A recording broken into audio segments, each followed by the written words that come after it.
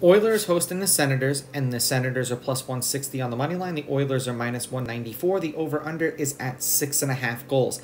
The Senators getting a goal and a half on the puck line are minus 137, meaning if you bet them that way and they win this game outright, you'd win. They lose by one goal, you win. And the Oilers laying a goal and a half on the puck line are plus 114, meaning if you bet them that way, they have to win this game by two goals or more. It's supposed to be Korpisalo and Skinner.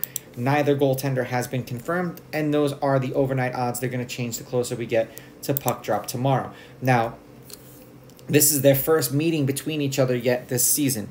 Head to head, the Oilers are on a two-game winning streak. The Oilers are eight and two against the Senators in their last ten. The home team is five and five. The favorite has won the last two games they've played against each other.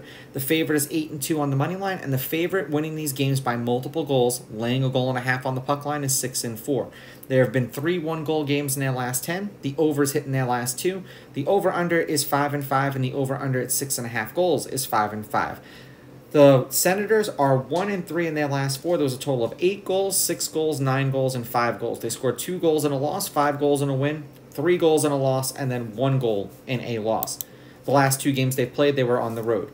For the Oilers, they are on a one, two, three, four, five, six game winning streak. There was five goals, five goals, seven goals, uh, nine goals, forgive me, and then seven goals. They scored five goals in a win, three goals in a shootout win, seven goals in a win. That was the game that I said seven, and then five goals in a win. They've been winning, they've been scoring, and they've been beating. They've been beating some some very good teams. They had a couple of meh teams thrown in there as well. I'm going to take the Oilers with the money line. I will take the Oilers laying the goals, and I'm going to go over. These are just my picks. If you disagree, please go with your gut, and please bet responsibly.